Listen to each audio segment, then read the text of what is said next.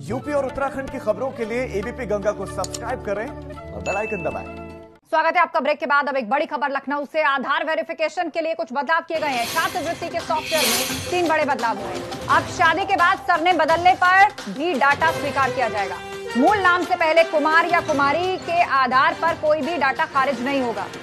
समाज कल्याण विभाग में वर्षों से दिक्कत आ रही थी, जिसके कारण ये अपडेशन हुए अब शादी के बाद सरने बदलने पर भी डाटा स्वीकार किया जाएगा।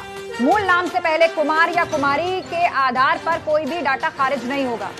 समाज कल्याण विभाग में वर्षों से दिक्कत आ रही थी, जिसके कारण ये अपडेशन हुए।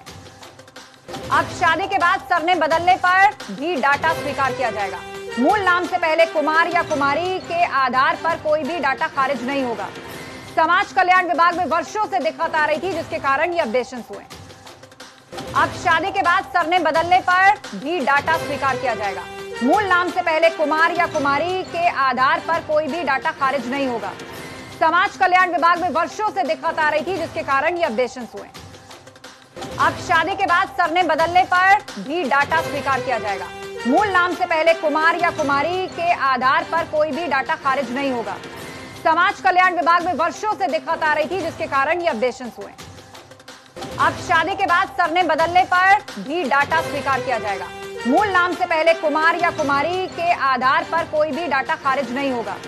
समाज कल्याण विभाग में वर्षों से दिक्कत आ रही थी, जिसके कारण ये अपडेशन हुए। अब शादी के बाद सरने बदलने पर भी डाटा स्वीकार किया जाएगा। मूल नाम से पहले कुमार या कुमारी के आधार पर कोई भी डाटा खारिज नहीं होगा।